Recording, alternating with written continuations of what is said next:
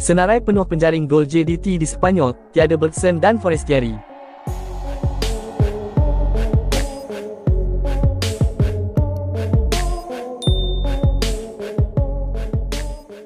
Aksi pramusim juara Liga Super 10 kali berturut-turut, Johor Darul Tazim, JDT, kini sudah melabuhkan tirainya selepas lebih dua minggu berada di Sepanyol untuk beberapa aksi persahabatan.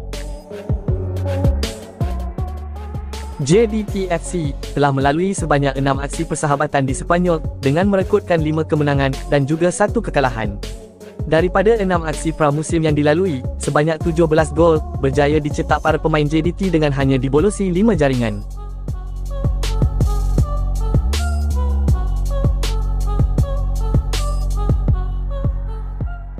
Inilah seramai 10 penjaring gol telah membantu kemenjadian aksi pramusim JDT di Sepanyol.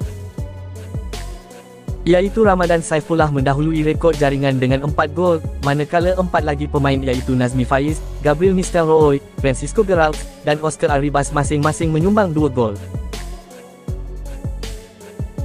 Pemain sayap lincah JDT, Arif Aiman Hanapi pula, meledak satu gol bersama-sama empat lagi rakan sepasukannya yang lain, iaitu Enric Dos Santos, G. Pevetran, Jalil Elias, dan Nicolao Dumitru.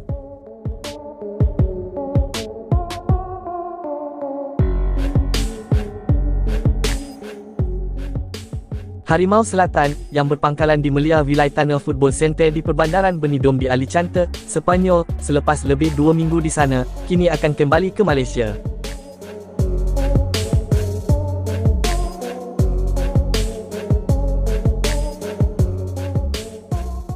JDT akan memulakan aksi Liga Super dengan perlawanan tumpuan Piala Sumbangsih menentang seteru utama Selangor FC pada 10 Mei yang bakal dilangsungkan di Stadium Sultan Ibrahim.